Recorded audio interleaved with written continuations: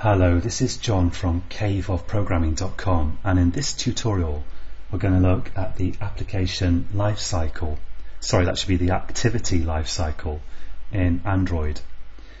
So if you go to uh, Google and you search for Android activity lifecycle, you'll find this page from developer.android.com which has a really nice diagram in it if you scroll down a bit.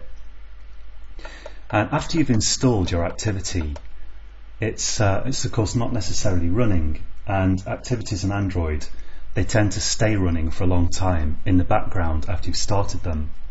So when you start your application, what happens is um, the onCreate method is called and we've been overriding our uh, onCreate method to do kind of our setup in the application. We call super.onCreate, which is very important and then we kind of set up the application's layout and anything else that we need to set up to initially run the application. And that all, ha all happens in the overridden onCreate method. Now after onCreate, onStart is called, and then onResume, and then the activity is running in the foreground. And if you if your activity is shut down, and it could be shut down by, um, for example, if you've stopped your application, you've gone to another application altogether, and memory gets low, Android might decide to actually shut down your application rather than to leave it running in the background. And when that happens, on pause is called, then on stop, then on destroy. So all these methods are called in sequence.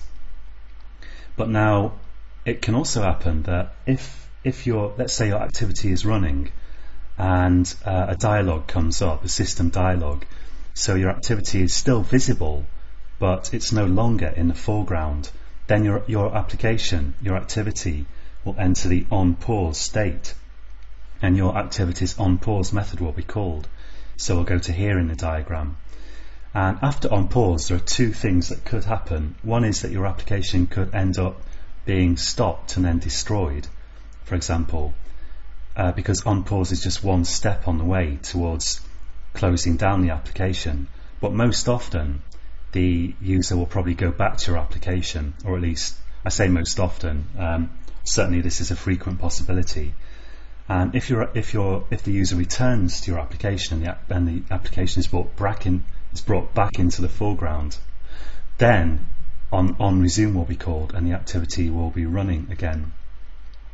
Similarly, if your application's stopped um, if you go to another application completely so that your activity is no longer even visible in the background, it will be stopped. So it's still kind of hanging around in the background in a stopped state, but it's not destroyed, it's still loaded into memory. And in that case, uh, on, after on stop, either it can happen that your application will be started again because the user goes back to it, in which case on restart is called, then on start is called again and then on resume and then your, your activity is running again. But it could also happen that the activity will be closed down by Android to reclaim the memory for example in which case on destroy will be called and the activity will be shut down.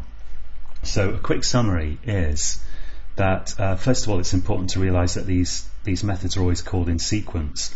On if on create is called then uh, well let's say yeah, if on create is called, then the next step will be on start and on resume before the activity is running. And similarly, if the activity is shut down, first on pause will be called, then on stop, then on destroy. And if your application is no longer in the foreground but still running, it will enter the pause state. So on pause will be called. And before it can unpause and become and get into the foreground again, on resume will be called. And if your application is not even visible so it's uh, the user's using another application altogether, or another activity, I should really say. Then the activity will be stopped. It will enter the on stop state and it will go through on pause first, then on stop. And from on stop, the application can either be restarted, in which case on restart and on start is called, and then on resume, and then it's running, or it could be destroyed this way. So um, when you first encounter this, I think it seems quite complex, but it's actually um, really simple once you get your head around it and you can remember which methods are involved.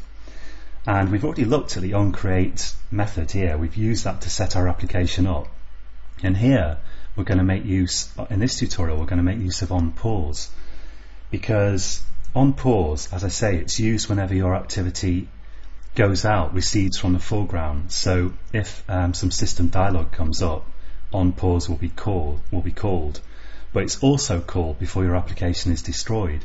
And this means that on pause is a pretty good place to save your data because it will happen, you can expect it to happen during the kind of life of the activity and it will always happen before the activity is destroyed. So in on pause, if you've got some data to save, and as long as it doesn't take more than a brief amount of time, most a second or two to save that data, you can do it in on pause. And if your activity has to save a lot of data, then don't try to do it in on pause because your application may get stopped or destroyed before it can complete. Uh, if your application has to save a lot of data, you need to be saving it as you go along while your activity is actually running. Now in my uh, my Squirrel, my Note Squirrel application, let's see, um, I've here's my emulator and I just want to close down this keyboard here by touching my phone. Um, I've got this text that the user can type here and I've got a save button to save the text and I've rearranged my application just a little bit so that the text is saved in a method called save text. So if we go to my main activity which presents this this screen here then I've given it a where are we? A save text method. Yeah it's down here the main activity. And here's save text. And this saves a text in response to the save button being clicked here. But I could also add this to onPause so let's um, let's right click here and go to source override implement methods. And I'm going to look for on pause in here. Override this. And I'm going to leave super on, on pause in there. It's really important that that should stay there. But I'm going to add save text in here and just save that. And now my application will try to save its text whenever it goes into pause mode which could be because the application is being shut down or it could just be that it's no longer in the foreground because some dialogue has come up and it could also be because it's being stopped because the user is changing to another program. You see if the application is stopped it will first go through on pause. Okay so that's it for this tutorial and we're going to move on soon I think to actually deploying this application, to actually publishing it in fact. So join me again next time and until next time, happy coding.